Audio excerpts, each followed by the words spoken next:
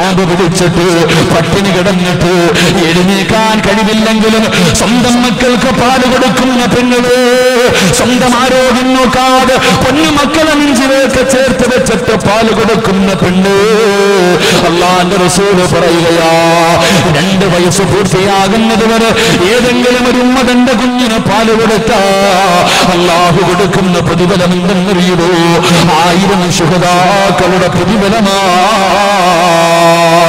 ആയിരം ശുഹതാക്കൾ പലരിലും മുഖത്തിലും ഹന്തക്കിലും ഹൈബറിലും തബോക്കൽ പടച്ചവന്റെ ദീനിന് വേണ്ടി പോരാടിയ ശുഹതാക്കളുണ്ടല്ലോ പതിനീയങ്ങളുണ്ടല്ലോ അള്ളാഹുടെ ആയിരം ശുഹതാക്കളുടെ പ്രതിഫലമാണ്. എന്തിനു പറയണം? പടച്ചവര് തന്റെ പ്രിയപ്പെട്ട ഭർത്താവിന്റെ ഒരു ജോഡി വസ്ത്രം കഴുകി കൊടുത്ത. ഇന്ന് പെണ്ണിന് വസ്ത്രം കഴുകാമല്ലാത്ത മടിയാ ഭർത്താവിന്റെ വിയർപ്പ് കഴുകാറ് എന്നെ കൊണ്ട് കഴിയുന്നെന്ന് പറയുന്ന പെണ്ണ് അള്ളാന്റെ റസൂൽ പറയുകയാണ്. ഏതെങ്കിലും ഒരു പെണ്ണ് തന്റെ ഭർത്താവിന്റെ ഒരു ജോഡി വസ്ത്രം കഴുകി കൊടുത്ത അള്ളാഹു ആ പെണ്ണിന് കൊടുക്കുന്ന പ്രതിഫലം എന്തെന്നറിയുമോ? നൂറ് പേർക്ക് ഭക്ഷണം കൊടുത്ത പ്രതിഫലം കിട്ടുമെന്ന് നബി മുഹമ്മദ് മുസ്തഫ. അള്ളാന്റെ റസൂൽ പറയുകയാണ്. ചോറ് വെച്ചാലും പ്രതിഫലം വിയർത്താലും പ്രതിഫലം. പറയുന്നില്ല. എന്റെ ആയുഷ പടച്ചവര് എന്റെ ഭാവി തുലച്ചെന്ന് പറയാറില്ല. അടുപ്പിന്റെ ചുവട്ടിൽ കിടന്ന് വിരികുന്ന പെണ്ണ്. നിന്റെ ശരീരം വിയർക്കുമല്ലോ നിന്റെ ശരീരം വിയർക്കുമല്ലോ.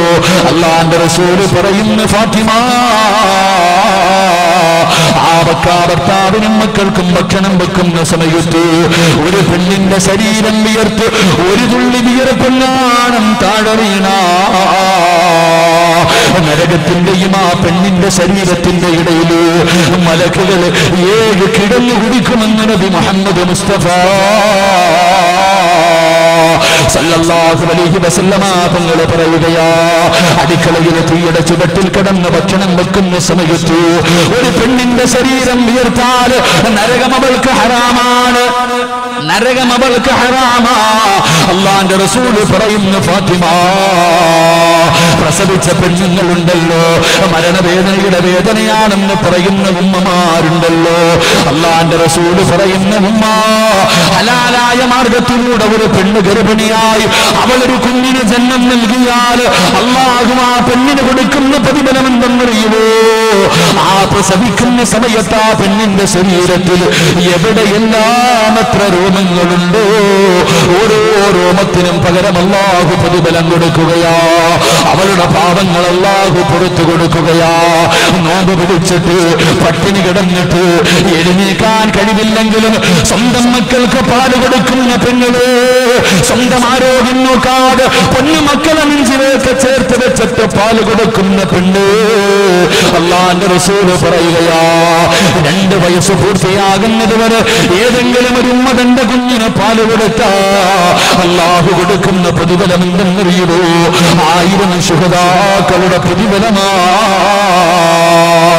ആയിരം ശുഹതാക്കൾ പലരിലും മുഖത്തിലും അഹന്തക്കിലും ഹൈബറിലും തബൂക്കൽ പടച്ചവന്റെ ദീനിന് വേണ്ടി പോരാടിയ ശുഹതാക്കളുണ്ടല്ലോ പതിനീയങ്ങളുണ്ടല്ലോ അള്ളാഹുടെ ആയിരം ശുഹതാക്കളുടെ പ്രതിഫലമാണ്. എന്തിനു പറയണം? പടച്ചവരെ തന്റെ പ്രിയപ്പെട്ട ഭർത്താവിന്റെ ഒരു ജോഡി വസ്ത്രം കഴുകി കൊടുത്ത. ഇന്ന് പെണ്ണിന് വസ്ത്രം കഴുകാമല്ലാത്ത മടിയാ. ഭർത്താവിന്റെ വിയർപ്പ് കഴുകാറ് എന്നെ കൊണ്ട് കഴിയുമെന്ന് പറയുന്ന പെണ്ണ് അള്ളാന്റെ റസൂൽ പറയുകയാണ് ഏതെങ്കിലും ഒരു പെണ്ണ് തന്റെ ഭർത്താവിന്റെ ഒരു ജോഡി വസ്ത്രം കഴുകി കൊടുത്ത അള്ളാഹു ആ പെണ്ണിന് കൊടുക്കുന്ന പ്രതിഫലം എന്തെന്നറിയുമോ? നൂറുപേർക്ക് ഭക്ഷണം കൊടുത്ത പ്രതിഫലം കിട്ടുമെന്ന് നബി മുഹമ്മദ് മുസ്തഫ അള്ളാന്റെ റസൂൽ പറയുകയാണ് ചോറ് വെച്ചാലും പ്രതിഫലം വിയർത്താലും പ്രതിഫലം പ്രസവിച്ചാലും പ്രതിഫലം പാൽ കൊടുത്താലും പ്രതിഫലം ഒരു ജോഡി വസ്ത്രം ഒരു ജോഡി വസ്ത്രം കഴുകി കൊടുത്താലും നൂറ് പാവപ്പെട്ടവർക്ക് ഒരു നേരത്തെ ഭക്ഷണം കൊടുത്ത പ്രതിഫലം അള്ളാഹു കൊടുക്കുമെന്ന് നബി മുഹമ്മദ് മുസ്തഫ.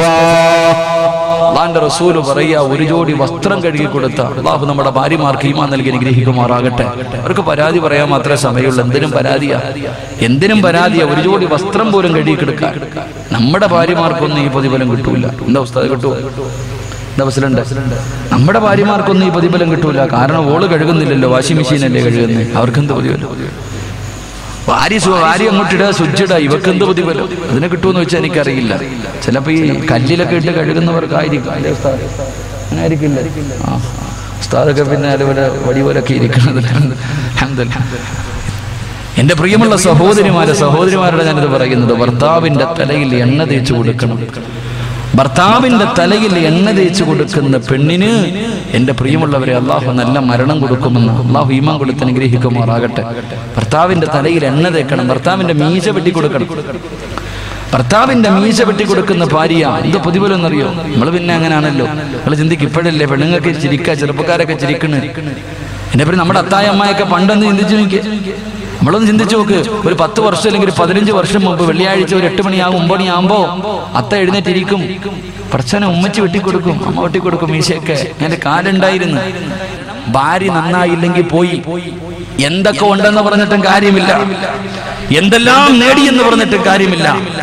ആറ് വിഭാഗം ആറ് സ്വഭാവമുള്ള പെണ്ണ് നിന്റെ വീട്ടിലുണ്ടോ? നിന്റെ വീടിന്റെ ഐശ്വര്യം നഷ്ടപ്പെട്ടു പോകും. അള്ളാഹു കാക്കുമാറാകട്ടെ. ആറ് സ്വഭാവമുള്ള ഒരു ഭാര്യയാണ് നിനക്കുള്ളതെങ്കിൽ നീ കെട്ടിക്കൊണ്ടുവന്നിരിക്കുന്ന പെണ്ണിന് ഈ പറയുന്ന ആറ് സ്വഭാവങ്ങളിൽ ഏതെങ്കിലും ഒരെണ്ണം ഉണ്ടോ? എന്തൊക്കെ നേടിയാലും നിന്റെ ജീവിതം മോശമാ. അള്ളാഹു കാക്കുമാറാകട്ടെ. ഒന്നാമത്തെ ഭാര്യ. വീടിന്റെ ഐശ്വര്യം നഷ്ടപ്പെടുത്തി കളയുന്ന ഒന്നാമത്തെ ഭാര്യ എപ്പോഴും അഭിനയിക്കുന്നവളാണെന്ന് നബി മുഹമ്മദ് മുസ്തഫ. ഒരു അസുഖവും ഇല്ല അവക്ക്. ഐഷ ഒരു ഗ്ലാസ് ചൂടുവെള്ളം ഇക്ക എനിക്ക് നടുവേദനയൊക്കെ എനിക്ക് തലവേദനയൊക്കെ എനിക്ക് വയറുവേദനയൊക്കെ എനിക്ക് അതുവേദനയൊക്കെ. ചുമ്മാതെ അഭിനയിക്കുന്ന പെണ്ണുങ്ങൾ. അങ്ങനെയുണ്ട് ചില പെണ്ണുങ്ങൾ. ജോലി ചെയ്യാൻ മടിയായിട്ട് അഭിനയിക്കുന്ന പെണ്ണ്. എന്റെ പ്രിയമുള്ളവരെ അങ്ങനെ ഒരു ഭാര്യയാണ് നിനക്കുള്ളതെങ്കിൽ അള്ളാഹു അയല നീ നന്നാക്കിക്കോ. ഇല്ലെങ്കിൽ നിന്റെ വീടിന്റെ നന്മ നഷ്ടപ്പെട്ടു പോകും. എണ്ണിക്കോ. എണ്ണിക്കോ. ഓരോ ചെറുപ്പക്കാരും ചിന്തിക്കും ഒന്നേ ഉസ്താദ് പറഞ്ഞത് ഉറപ്പാ. രണ്ട് ചെയ്ത നന്മകൾ എടുത്തു പറയുന്ന ഭാര്യ. ഒന്നും മറന്നിട്ടില്ല. കല്യാണം കഴിഞ്ഞിട്ട് ഇരുപത് കൊല്ലായി. ഇപ്പോഴും പറയും മുപ്പത് പവനും അമ്പത് സെന്റുമായിട്ടാണ് ഞാൻ വന്നത്.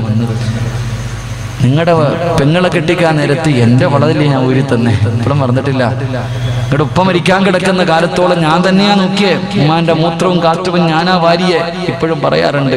ഇങ്ങനെ എടുത്തു പറയുന്നവളാണ് നിന്റെ ഭാര്യ എങ്കിൽ പോയി മോനെ. അള്ളാഹു ഇതായത്ത് നൽകി അനുഗ്രഹിക്കുമാറാകട്ടെ. ചെയ്ത നന്മകൾ എടുത്തെടുത്ത് പറയുന്ന പെണ്ണ്. മൂന്ന് മൂന്ന്. എന്റെ പ്രിയമുള്ള സഹോദരങ്ങളെ ഭർത്താവിന്റെ കയ്യിൽ പൈസയുണ്ടോ ഇതോ? അതൊന്നും അവക്കറിയണ്ട. ഭർത്താവിന്റെ കയ്യിൽ പണമുണ്ടോ ഇല്ലേ? വാങ്ങിക്കൊടുക്കാൻ പൈസയുണ്ടോ ഇല്ലേ? അവക്കറിയണ്ട കാണുന്നത് മുഴുവനും വേണമെന്ന് പറഞ്ഞ് വാശി പിടിക്കുന്നവൾ അള്ളാഹു കാക്കുമാറാകട്ടെ. ഭർത്താവിന് പേടിയാ. ഭർത്താവിന് പേടിയാ. ഭാര്യ കൊണ്ട് അങ്ങനെ കാണാൻ മൊത്തവും വേണമെന്ന് പറയും. വേണ്ടതെല്ലാം മേടിച്ചു കൊടുത്താലും പറയും പിന്നെയും വേണമെന്ന്. അള്ളാഹുബെ ഭർത്താവിന് വാങ്ങിക്കൊടുക്കാൻ കഴിവില്ല പക്ഷേ കാണുന്നത് മുഴുവനും വേണമെന്ന് പറയുന്ന ഒരു ഭാര്യയാണ് നിനക്കുള്ളതെങ്കിൽ നിന്റെ വീടിന്റെ ഐശ്വര്യം നഷ്ടപ്പെട്ടു പോകും. അള്ളാഹു കാക്കുമാറാകട്ടെ. നാല് എണ്ണിക്കോ? നാല് ഭാര്യയും ഭർത്താവും കൂടെ ആദിക്കാട്ട കുളങ്ങരയിലെ വീടിന്റെ മുന്നിൽ ഇങ്ങനെ ഇരിക്കാം രണ്ടുപേരും കൂടി ഇങ്ങനെ ഇരിക്കുമ്പോ അയൽവാസിയായ ആമിനായും ഭർത്താവും കൂടെ എവിടെയൊക്കെ പോകാൻ വേണ്ടി ഒരുങ്ങി ഇറങ്ങാ അപ്പൊ ഭർത്താവിനോട് ഭാര്യ പറയുക കണ്ടോ? ഭർത്താവ് എന്ന് പറഞ്ഞാൽ അത് അങ്ങനെ ഇരിക്കണം. അങ്ങാരുടെ ബോഡി കണ്ടോ? ഗ്ലാമർ കണ്ടോ? അച്ഛനെ. സ്വന്തം ഭർത്താവിനെ മുന്നിലിരുത്തിയിട്ട് കണ്ടവൻ ആഗ്രഹിക്കുന്ന ഒരു ഭാര്യ അള്ളാഹു കാക്കുമാറാകട്ടെ. അല്ലേ ചില പെണ്ണുങ്ങൾ പറയാറുണ്ട് അങ്ങനെ ആയിരിക്കണം അങ്ങനെ കണ്ടോന്ന്. ചില നട്ടണ്ടില്ലാത്ത ഭർത്താക്കന്മാരുണ്ട് അതും കേട്ടിട്ട് ചിരിക്കും. ഇങ്ങനെ ചിരിച്ചുകൊണ്ടിരിക്കുക ഭാര്യ കണ്ടവനെ കുറിച്ച് പൊക്കി പറയുമ്പോഴും കേട്ടോണ്ടിരിക്കണത് ഒരൊറ്റ കീറ് കൊടുക്കേണ്ട അപ്പോഴാ. അപ്പോഴാ അടി കൊടുക്കേണ്ടതല്ലാതെ ഏയ് പെണ്ണിനെ അടിക്കണ്ട എന്ന് ഞാൻ പറയുന്നില്ല. പെണ്ണിന് അടി കൊള്ളേണ്ട കൊടുക്കേണ്ട സമയമുണ്ട്. പെണ്ണിനെ അടിക്കേണ്ട സമയമുണ്ടെന്ന് നബി മുഹമ്മദ് മുസ്തഫ. പെണ്ണെ അടിക്കേണ്ട സമയം എപ്പോഴാ? പെണ്ണ് ഭാര്യക്ക് അടി കൊടുക്കേണ്ട സമയം എപ്പോഴാ? പറഞ്ഞരട്ടെ. പറഞ്ഞരട്ടെ. എന്നിട്ട് വേണം തല്ലായില്ലേ അങ്ങാരി വന്നിട്ട് പറഞ്ഞു കൊടുത്തിട്ട് പോയെന്ന് പറഞ്ഞില്ലേ? വേണ്ടപ്പാ അതാരും പറഞ്ഞു കൊടുക്കാറില്ല. പിന്നെ ചില ഭാര്യമാരുണ്ട് താ താ താന്ന് പറഞ്ഞിട്ട് നടക്കുക. തായ്ക്ക ഒരെണ്ണം. അങ്ങനെ ചോദിച്ചു വാങ്ങാ ഭർത്താവിന് ദേഷ്യം വന്നാൽ പോയി മിണ്ടാതെ എവിടെങ്കിലും ഇരിക്കണം. പെണ്ണുങ്ങൾ പാഠം അറിയോ ഭർത്താവിന് ദേഷ്യം വന്നാൽ ഭാര്യ മിണ്ടാതെ പോയി ഇരിക്കണം അത് അങ്ങനെയല്ല ഒന്ന് എന്ന് പറഞ്ഞ് പിന്നെ ഇങ്ങനെ വരും പേടിക്കാൻ ഈ പെണ്ണിന്റെ സ്വഭാവം അങ്ങനെയാ. ചില ചെറുപ്പക്കാർ പറയും ഉസ്താദെ ഏത് ചെറുപ്പക്കാരന്റെയും ഒരു ആഗ്രഹമാണ് തന്റെ ഭാര്യ വരച്ച വരെ നിർത്തണം. ഏതൊരു വിവാഹം കഴിച്ച ആണിന്റെയും ഒരു ആഗ്രഹമാണ് വരച്ച വരയിൽ തന്റെ ഭാര്യയെ നിർത്തണം. കിയാമത്ത് നാൾ വരെ നിന്നെ കൊണ്ട് കഴിയില്ലെന്ന് നബി മുഹമ്മദ് മുസ്തഫ. വരച്ചിട്ട് നീ കയറി നിൽക്കുന്ന അല്ലാതെ നിന്റെ ഭാര്യ കയറി നിൽക്കൂല. നീ ദിവസം നീ വിചാരിക്കേം വേണ്ട. ഒരാളിനെ കൊണ്ടും തന്റെ ഭാര്യ വരച്ചവരെ നിർത്താൻ കഴിയില്ല. കാരണം അള്ളാഹു അവളെ സൃഷ്ടിച്ചിരിക്കുന്നത് വളഞ്ഞ എല്ലിൽ നിന്നാ. കൂടുതൽ നൂത്താലും ഓടിയും കൂടുതൽ വളച്ചാലും ഓടിയും അതാ ജീവിതം. അതാണ് ജീവിതം. വളഞ്ഞ എല്ലാണ് കൂടുതൽ വളച്ചാലും ഒടിഞ്ഞു പോകും കൂടുതൽ നൂത്താലും മഹാനായി നബി മുഹമ്മദ് മുസ്തഫ വസല്ലം. പെണ്ണിന്റെ സ്വഭാവം എന്തെന്നറിയോ? ഒന്ന് പറഞ്ഞുതരാം. അള്ളാന്റെ റസൂൽ അലൈഹി വസല്ലം തങ്ങൾ ഒരു ദിവസം യുദ്ധം കഴിഞ്ഞിട്ട് വീട്ടിൽ കയറി വരിക. യുദ്ധം കഴിഞ്ഞിട്ട് വീട്ടിലേക്ക് കയറി വരുമ്പോ ഭാര്യ ആയിഷ ബി പ്രതികളാഹു താലാനക വീടിന്റെ കവാടത്തിൽ പിടിച്ചു നിർത്തിയിട്ട് ചോദിക്കുക ഏറ്റവും കൂടുതൽ സ്നേഹം ആരോടാ നബിയ? എപ്പോഴാന്ന് വെക്കണം ആ രംഗം മനസ്സിലാക്കണം. എങ്കിൽ അള്ളാഹുവിന്റെ റസൂൽ തങ്ങൾ യുദ്ധം കഴിഞ്ഞിട്ടാ വരണേ. കറങ്ങാൻ പോയിട്ടല്ല. യുദ്ധം കഴിഞ്ഞിട്ട് ഒരുപാട് സഹാബത്ത് ഷഹീദായി യുദ്ധം കഴിഞ്ഞിട്ട് വീട്ടിൽ കയറി വന്നപ്പോൾ പിടിച്ചു നിർത്തിയിട്ട് ചോദിക്കുക ഏറ്റവും കൂടുതൽ സ്നേഹം ആരോടാ നബിയെ? അള്ളാന്റെ റസൂൽ പറഞ്ഞു എനിക്ക് നിന്നോട് ആയിഷ. എനിക്ക് ഏറ്റവും സ്നേഹം നിന്നോടാ. വീടിനകത്തേക്ക് കയറി വിട്ടില്ല.